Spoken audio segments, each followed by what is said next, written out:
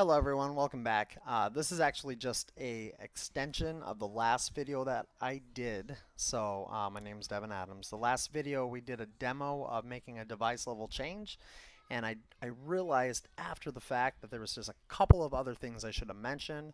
So this is kind of like a 6.1 video. You'll see me do that in my playlist. That's pretty much the stuff I forgot to add. So anyways, uh, for starters, let's go to Device Manager. In the last video, we made a device level change on the remote FortiGate, and then we pushed it down. I just wanted to show you guys the benefit of that metadata. So I did do an example of uh, putting in a comment before I pushed down the change.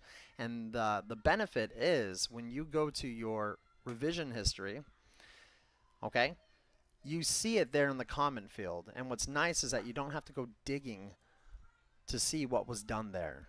So not only will you have like the administrator side of things, okay, and I'll, I'll actually show that in a video eventually someday.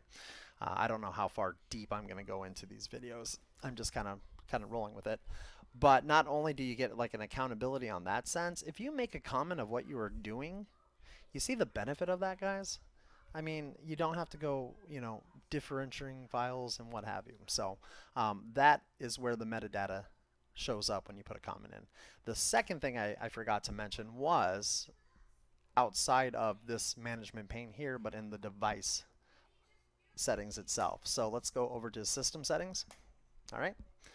And we had a task monitor. Now this task monitor will show you, okay, what the FortiManager has been doing.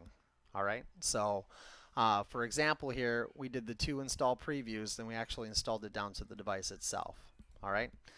Now, if uh, if you have a device that's stuck, I, I thought there might have been a right click here. The status is completed, so it's it's not like you know I have anything that's been stuck, but there should be an option either to delete it, all right, or an option to cancel it if it does get stuck for some whatever re reason. Because you'll see sometimes there are things that will start piling up and waiting for one process to finish. All right. So I was trying to, to catch that earlier and I forgot about it.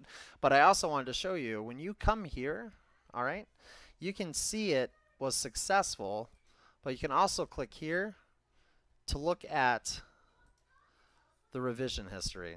So in other words, you can actually see what it was doing there and where it might have erred out if you didn't catch it in time. All right, so I just wanted to let you guys know that there is a an option to to see that there. All right, so um, anyways, so that's the task monitor view.